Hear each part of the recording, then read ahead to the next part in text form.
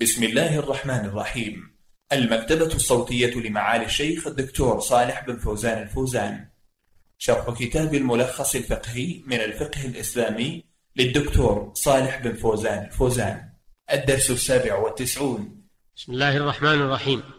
الحمد لله رب العالمين والصلاة والسلام على نبينا محمد وعلى آله وأصحابه من تبعهم بإحسان إلى يوم الدين. أما بعد أيها المستمعون الكرام السلام عليكم ورحمة الله وبركاته. نواصل الحديث معكم في موضوع الحجر على المفلس. وكنا قد تناولنا في الحلقة السابقة بداية الكلام عن ذلك. وضاق بنا الوقت عن استكماله. فسنتناول في هذه الحلقة إن شاء الله بيان الأحكام التي تتعلق بالحجر على المفلس. فقد ذكر الفقهاء رحمهم الله أنه يتعلق بالحجر عليه أربعة أحكام. الحكم الأول أنه يتعلق حق الغرماء بماله الموجود قبل الحجر عليه وبماله الحادث بعد الحجر عليه بإرث أو أرش جناية أو هبة أو وصية أو غير ذلك. فيلحقه الحجر كالموجود قبل الحجر فلا ينفذ تصرف المحجور عليه في ماله بعد الحجر بأي نوع من أنواع التصرف. ولا يصح إقراره على شيء من ماله لأن حقوق الغرماء متعلقة بأعيانه فلم يقبل الإقرار عليه وحتى قبل الحجر عليه يحرم عليه التصرف في ماله تصرفا يضر بغرمائه. قال الإمام ابن القيم إذا استغرقت الديون ماله لم يصح تبرعه بما يضر بأرباب الديون سواء حجر سواء حجر عليه الحاكم أو لم يحجر عليه. هذا مذهب مالك واختيار شيخنا. يريد شيخ الإسلام ابن تيمية رحمه الله. قال وهو الصحيح وهو الذي لا يليق بأصول المذهب غيره بل هو مقتضى أصول الشرع وقواعده لأن حق الغرماء قد تعلق بماله ولهذا يحجر عليه الحاكم. ولولا تعلق حق الغرماء بماله لم يسع الحاكم الحجر عليه. فصار كالمريض مرض الموت. وفي تمكين هذا المدين من التبرع إبطال حقوق الغرماء. والشريعة لا تأتي بمثل هذا فإنما جاءت بحفظ حقوق أرباب الحقوق بكل طريق. وسد الطريق المفضية إلى إضاعتها انتهى كلامه رحمه الله. الحكم الثاني من الأحكام المتعلقة بالحجر على المفلس أن من وجد عين ماله الذي باعه عليه أو أقرضه إياه أو أجره إياه قبل الحجر عليه فله أن يرجع به ويسحبه من عند المفلس. لقوله صلى الله عليه وسلم من أدرك متاعه عند إنسان أفلس فهو أحق به. متفق عليه. وقد ذكر الفقهاء رحمهم الله أنه يشترط لرجوع من وجد ماله عند المفلس المحجور عليه ستة شروط استنبطوها من الحديث. الشرط الأول كون المفلس حيا إلى أن يأخذ ماله منه لما رواه أبو داود أنه صلى الله عليه وسلم قال فإن مات فصاحب المتاع أسوة الغرماء.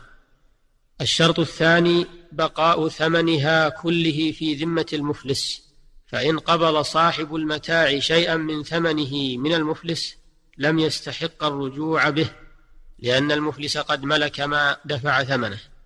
الشرط الثالث بقاء العين كلها في ملك المفلس فإن وجد بعضها فقط لم يرجع به لأنه لم يجد عين ماله وإنما وجد بعضها.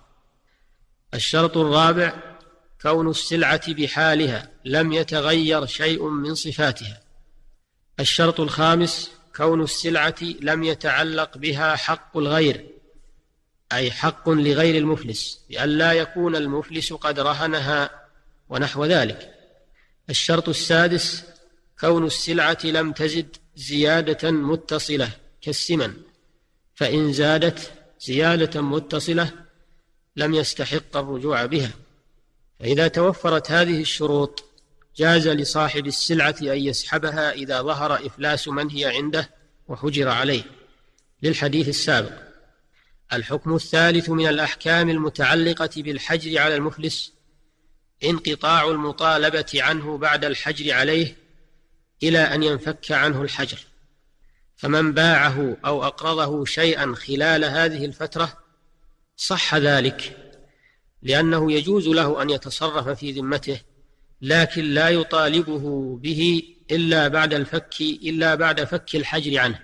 الحكم الرابع من الأحكام التي تتعلق بالمحجور عليه لإفلاس أن الحاكم يبيع ماله ويقسم ثمنه بقدر ديونه على غرمائه بالمحاصة ويختص ذلك بالديون الحالة لأن هذا هو المقصود من الحجر عليه. وفي تأخير ذلك مطل وظلم له. لكن يترك الحاكم للمفلس ما يحتاج إليه حاجة ضرورية من مسكن ومؤونة ونحو ذلك.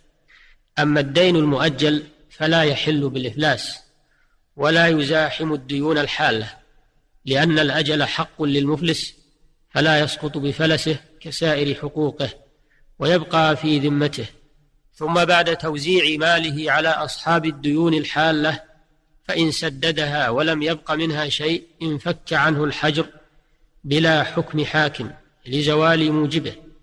أما إن بقي عليه شيء من ديونه الحالة لئلا يغطيها موجوده فإنه لا ينفك عنه الحجر إلا بحكم الحاكم لأنه هو الذي حكم بالحجر عليه فهو الذي يحكم بفك الحجر عنه.